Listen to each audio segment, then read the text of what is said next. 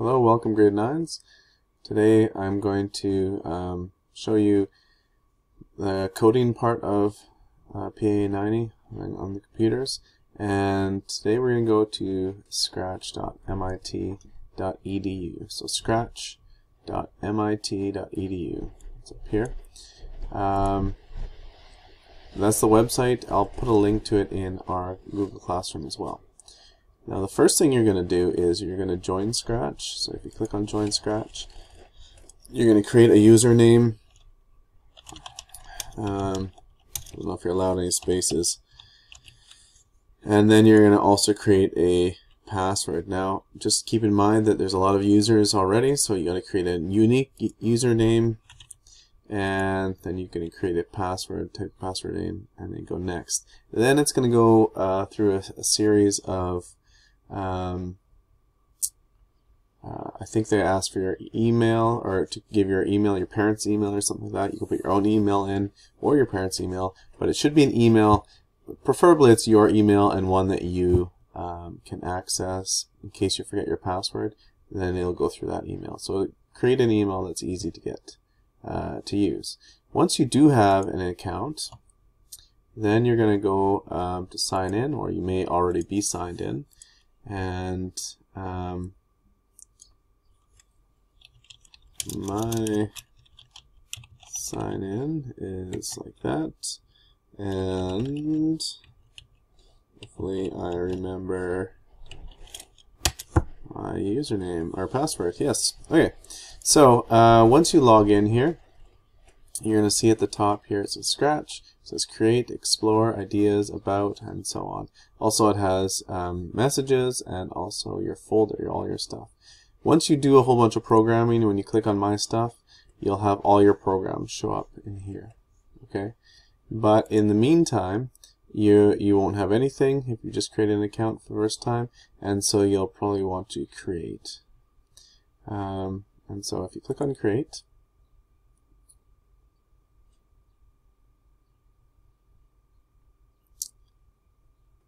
Alright, I'm just going to move my, I'm going to move down here actually. Um, so this is the Scratch environment that we're going to use to program. Up here it's going to say Untitled. Um, it says Untitled 12 because I've done a few Untitled ones before. Uh, this is the name of your game. Um, and if you click on it, you can rename it. So you can call it my first game or a program. It doesn't have to be a game, but um, I think that's what we'll do as a class, is we'll make a video game together. This video here is just to generally show you the environment, and um, for Monday, what I'd like you to do is just get familiar with the environment and start doing some tutorials. And then throughout the week, I'll start posting um, a video game that we'll make together, and it'll be uh, up to you to keep going and to make it your own later on, to make it unique. So, first thing is um, the environment and setup with things like being able to save and making copies and loading from your computer. Um, this program actually automatically saves as soon as you move things in. It it it automatically saves periodically, so not right away, but um, once in a while. If it says save now up here, that means it's not saved. You have to click saved. If there is nothing, if there's nothing up here, it's blank, that means it is saved. And um, if I was to leave this code for a while, I'm not going to wait for it, but it'll eventually save by itself. Uh, but you always want to make sure to save it. Click up here and say save if the option is available. If there's no option, that means, again, it's saved. So uh, down here, we under the blue here, we have the motion tab, looks tab, sun, uh, sound, events, control, sensing, operators, variables, and my blocks. And actually, if you go to motion and you just scroll down, you can go through all of them as well. But these little buttons here, they uh, are much quicker. So if you need an operator, click on it. If you need to go to motion, click on it, and it goes right to where you need to be. Um, and you'll notice inside the motion uh, tab that there's a whole bunch of uh, what they're called blocks, but basically they're bits of code that you can drag and drop into this space here. This space right here, um, I can't remember the exact name of it, but this is where your program is going to sit. and this is the program that's going to run this sprite.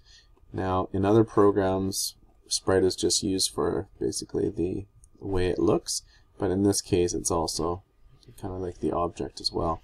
So, um, if you want this cat to move and turn, move 10 steps and turn 15 degrees, you can click on this, and I'll do that. You can see over here, the cat is actually moving and turning. Okay, so go ahead and play around with that. Try different things, see what will happen if you turn the other way.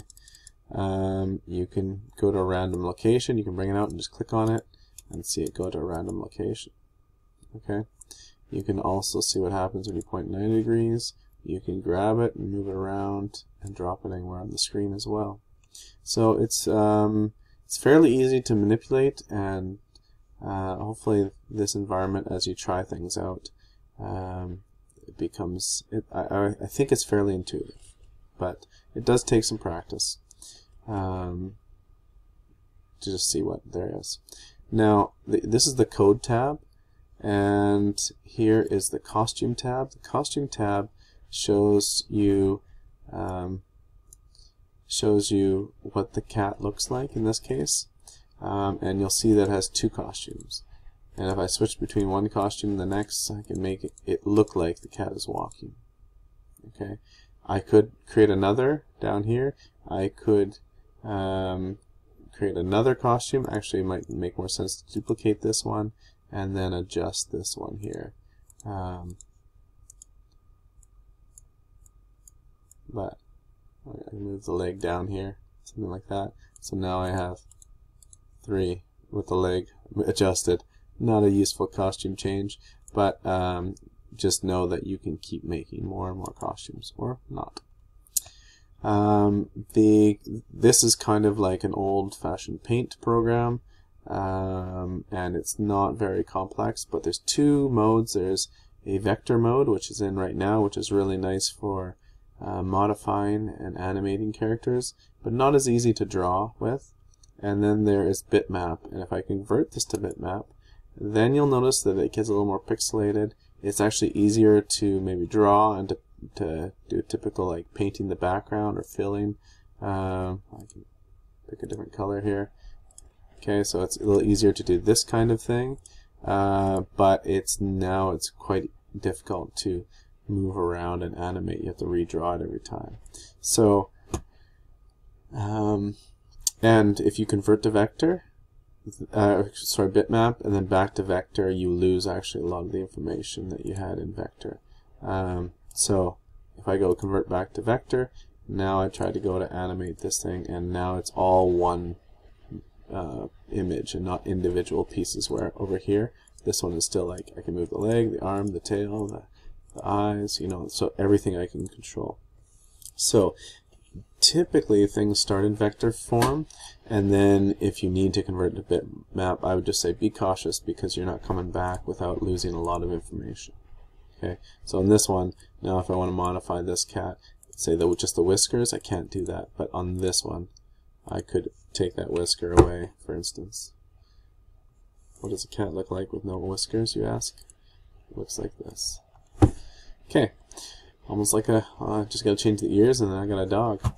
Um, so that is um, the costumes tab and um, I'll show you how to animate things as well. Uh, and then the last tab here is sound. And right now that's a very loud meow.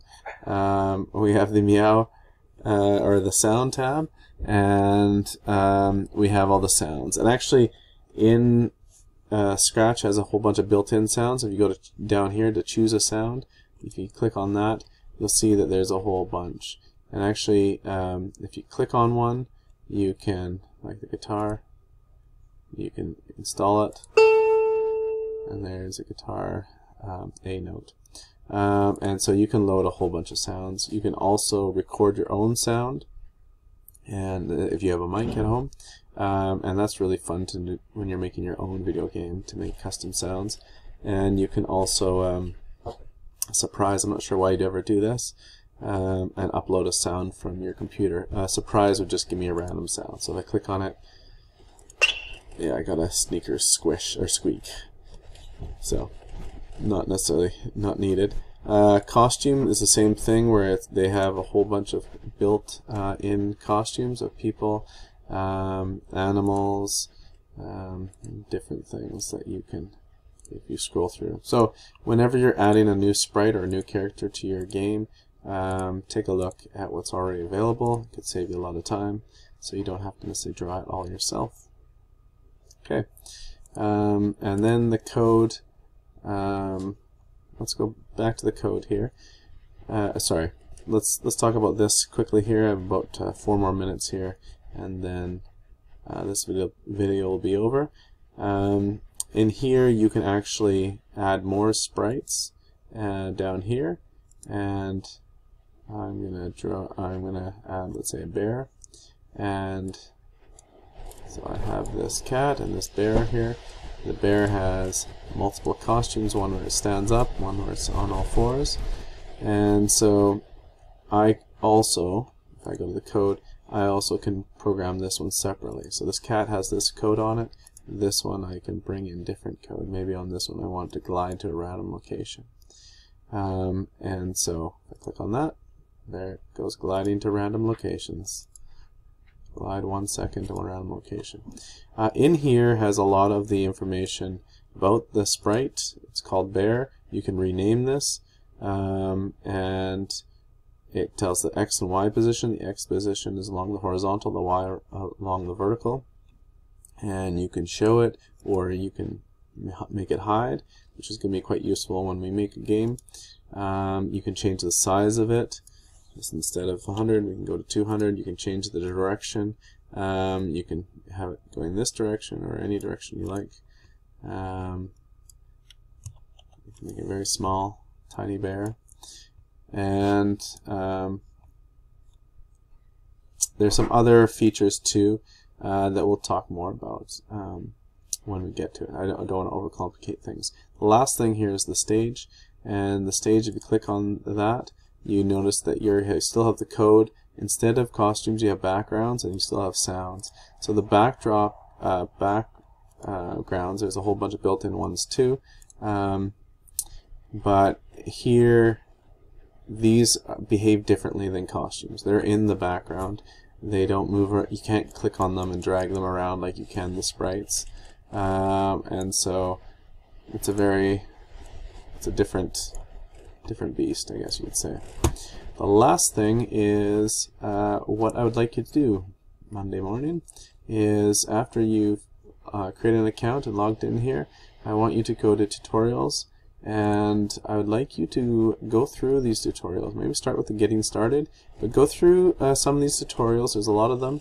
Um, and I go through some of them and they will actually, the beauty of these things is, and I'll just move my character one more, my video one more time, is that they have with Scratch you can make videos that have also instructions like animations to show you how to move things in and what to do um, and they're really um, fairly simple and so it's a good way just to get started okay so for Monday what I'd like you to do is create an account and just go through some of the tutorials I'd, I'd, I'd suggest maybe five tutorials just to get started and get understanding of uh, how to use this environment because um, later on in the week, probably Tuesday, I'm, I'm gonna start, uh, we'll start to make a video game together. Alright, good luck, and we'll see you soon.